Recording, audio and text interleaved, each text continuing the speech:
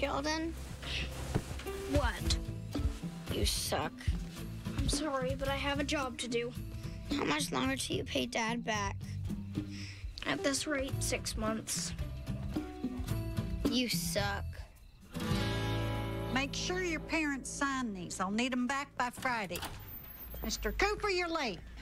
I know I'm late. My training wheels broke. Training wheels?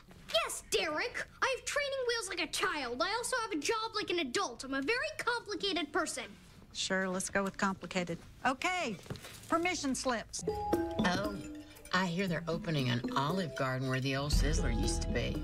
On Hampton Road? Yeah. I don't think that was a Sizzler. That was a Chi Chi's. No, the Chi-Chi's is on Bedford across from the Payless Shoes. She's right, because one time we got shoes, and then we got Chi-Chi's. That was a good day. Huh. I guess that was a Sizzler. I'm sorry they closed that.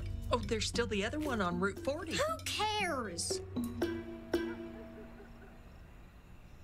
You have a problem? Yes, I do. I've had a long day. Is it too much to ask for a dinner with a little peace and quiet? Sheldon, you do not talk to your father like that. Fine. I'd rather not speak to any of you. Maybe I better go talk to him. No, I got this. George, maybe you should calm down first. I got this.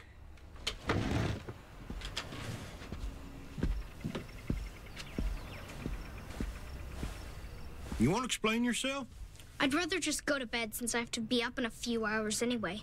Look, I understand you're tired, but that is no reason. I'm not just tired. I'm exhausted. Everything hurts.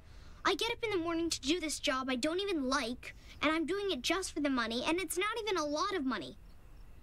I keep trying harder and harder, and it doesn't even make a difference. So if you're going to yell at me or punish me, let's just get it over with.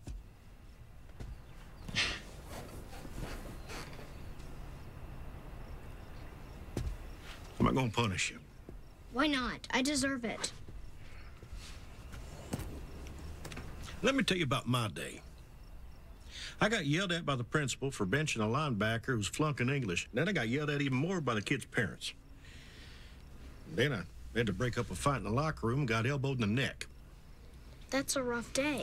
That was all before 10 a.m. So I get what you're going through. But you'll notice I didn't come home and take it out on you. No, you didn't. I want you to get back in there, apologize to everyone, and finish your dinner. Yes, sir. My father's wisdom touched me deeply, which is why to this day, no matter what I'm going through, I am never irritating or abusive to any of my friends or loved ones. Ask them, they'll tell you. For the next several months, I continued working my paper route until I paid my father back. And by working, I mean delegating.